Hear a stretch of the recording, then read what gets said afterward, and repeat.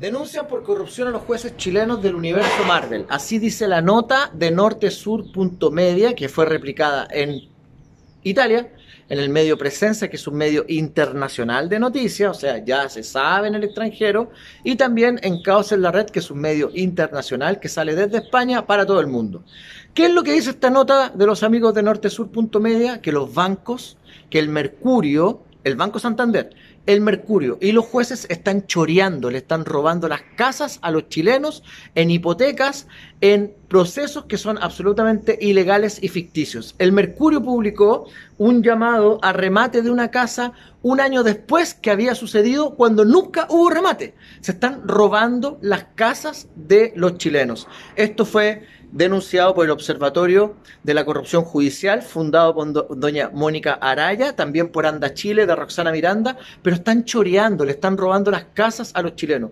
Yo he vivido en muchos países, me ha tocado vivir en Inglaterra, actualmente resido en Europa, he estado en muchos lugares y nunca he conocido un capitalismo más salvaje, un neoliberalismo más brutal que el chileno, donde el poder manda, donde hay una pantomima. Hay gente que dice que es de izquierda, como Karina Oliva, como el señor Claudio Rego, que es de centro izquierda, van a la televisión, hacen show, hacen debate, pero ellos luchan, lloran, patalean por aparecer en el Mercurio, para que el Mercurio los valide. ¿Pero qué es el Mercurio? Es un diario criminal que ha sido cómplice, coautor de asesinatos.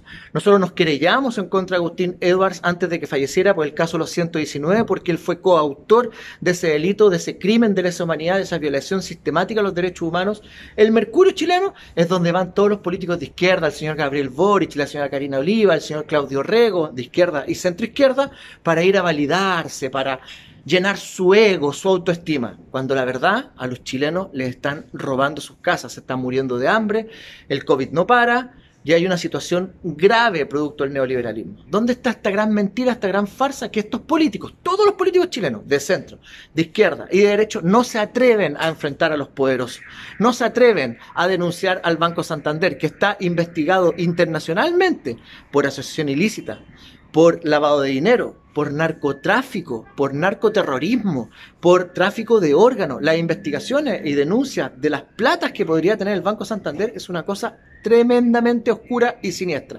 Nadie se atreve a enfrentar a los poderosos en Chile y tenemos políticos que actúan, hacen como que le importa a la gente cuando la verdad no le importa ni un pepino. Lo único que quieren es llegar a ser gobernadores regionales, ser ministros, ser presidentes para meter a sus amigos, para hacer un negocio, para tener un trabajito, para hacer lucrar, lucrar con la política, lo que hacía la política tradicional.